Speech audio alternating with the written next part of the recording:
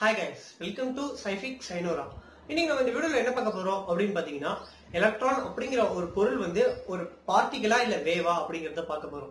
ஆக்சுவலா வந்து எலக்ட்ரான் வந்து இந்த ரெண்டு கேரக்டரிஸ்டிக்ல எதுல உண்மை அப்படின்னு சொல்றதுக்குலாம் முன்னாடி நிறைய பேருக்கு வந்து எலக்ட்ரான்னால என்னன்னு தெரியாது.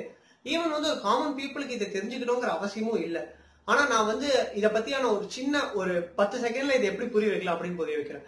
ஃபர்ஸ்ட் ஆஃப் ஆல் வந்து இந்த உலகத்துல இருக்க எல்லா பொருளுக்குமே வந்து மூணு அணுக்கூறுகள் அப்படிங்கிறது இருந்தே தீரணும். அதுல ஒண்ணு வந்து எலக்ட்ரான் அப்படின்னு சொல்றோம். இது தெரிஞ்சா போதும். இந்த டாபிக் வந்து நம்மளுக்கு புரியணும்னா இப்ப இந்த எலக்ட்ரானுங்கிறது எங்க இருக்கும் அப்படின்னு பாத்தீங்கன்னா ஒரு ஆட்டமோட சென்டர்ல நியூக்ளியஸும் புரோட்ரானும் இருக்கும்.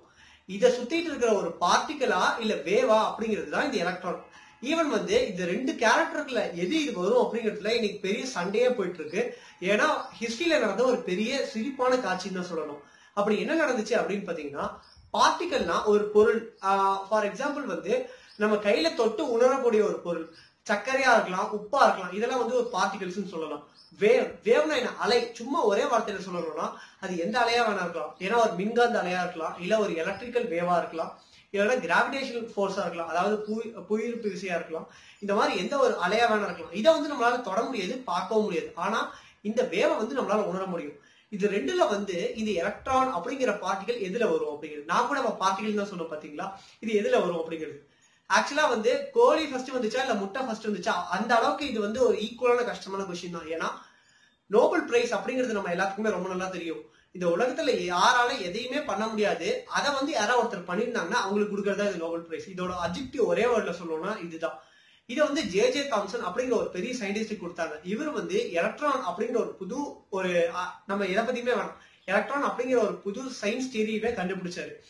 இவர் கண்டுபிடிச்சு கொஞ்சம் வருஷங்கள் கழிச்சு இவரோட பையன் ஜிபி தாம்சன் அப்படிங்கிறவர் வந்து எலக்ட்ரானை பத்தி திரும்ப இன்னொன்று கண்டுபிடிச்சாரு. ஜே ஜே தாம்சன் வந்து எலக்ட்ரான் ஃபர்ஸ்ட் கண்டுபிடிச்சப்ப எலக்ட்ரான் அப்படிங்கிறது ஒரு பார்ட்டிகல் அதாவது நம்ம சுகர் சால்ட் மாதிரி ஒரு பார்ட்டிகல் அப்படின்னு ப்ரூவ் பண்ணாரு. இதுக்கப்புறம் வந்து இவரோட பையன் ஜிபி தாம்சன் எங்க அப்பா சொன்னது தப்பு. எலக்ட்ரான் அப்படிங்கிறது வந்து ஒரு பார்ட்டிகல் கிடையாது. அது ஒரு வேவ் அதாவது ஒரு அலை. ஒரு நியூக்ளியஸை சுத்தி சுத்திட்டு இருக்கிற ஒரு ஒரு சாதாரண வேவ் தான். அது எந்த விதமான தொடரக்கூடியமான கெப்பாசிட்டி அதுல இல்லை அப்படின்னு சொல்லிட்டாங்க.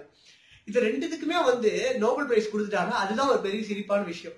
இன்னைக்கு நம்ம சயின்ஸோட கான்ஸ்பிரசியை சிரிச்சு பார்த்தோம்னா ரொம்ப கேவலமா தான் இருக்கும். ஏன்னா எப்படி நீங்க சொல்லுவீங்க?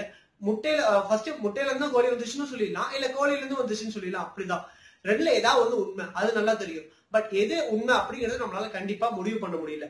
ஆக்சுவலா வந்து என்ன பொறுத்த வரைக்கும் நான் எப்படி எக்ஸ்பிளைன் பண்ணுவேன் அப்படின்னு பாத்தீங்கன்னா இது நம்ம வந்து ஒரு பார்ட்டிகள் அப்படின்னு நினைச்சுக்கிட்டோம்னா என்ன நடக்கும்னா ஒரு பார்ட்டிகலால தான் ஒரு வேவா இருக்க முடியும் அப்படிங்கிறது தான் சயின்ஸோட உண்மை அப்படின்னு சொல்லலாம். ஃபார் எக்ஸாம்பிள் வந்து ஒரு பார்ட்டிகலால தான் ஒரு இடத்த சுத்த முடியும். ஃபார் எக்ஸாம்பிள் நம்ம கிராவிடேஷன் ஃபோர்ஸை வந்து காமனா எடுத்துக்கலாம்.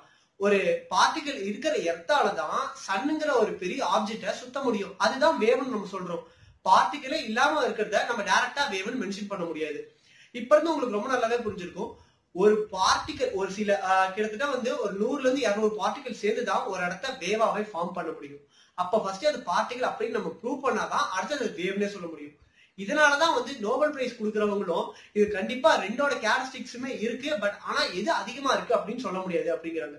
இன் சிம்பிள் வந்து எல்லா எக்ஸாம்பிளும் சொல்லணும்னா ஹண்ட்ரட்ல வந்து சைஃபர் இருந்தாதான் அது ஹண்ட்ரட் அப்படின்னு சொல்ற மாதிரிதான். கடைசி வரைக்கும் எனக்கும் இது புரியவே இல்லை. உங்களுக்கும் புரியாதுன்னு ரொம்ப நல்லாவே தெரியும். பட் நிறைய சயின்ஸ் வந்து இன்னைக்கு வரைக்குமே பேரடாக்ஸா தான் இருக்கு. அதாவது நம்மளால கிளியர் பண்ண முடியாத ஆன்சர்ஸாவே தான் இருக்கு. அன்னியில இருந்து ஐசக் நியூட்டனோட லேபா கண்டுபிடிச்சதுல இருந்து கலீலியோ கலீலியோட லேபை பிரேக் பண்ண வரைக்கும் எதுவுமே இன்னும் நம்மளால சால்வ் பண்ணவே முடியல. அப்படியே நம்ம சால்வ் பண்ணாலும் அதுதான் உண்மையான ஆன்சரானும் நம்மளுக்கு தெரியல. இன் சிம்பிள் இதை நான் எப்படி நினைக்கிறேன் அப்படின்னு பாத்தீங்கன்னா நம்ம புக்ல இருந்து ஒரு ஆன்சர் போடுவோம். பட் அந்த ஆன்சர் கரெக்டா இல்லையா அப்படின்னு நம்ம தலையை சொல்லிட்டு இருக்கிற மாதிரியே தான் கடைசி இருக்கு. நீங்க இந்த மாதிரி சயின்ஸ் மிஸ்ட்ரி வேறதா பார்த்து நீங்க கமெண்ட் லீவ் பண்ணுங்க.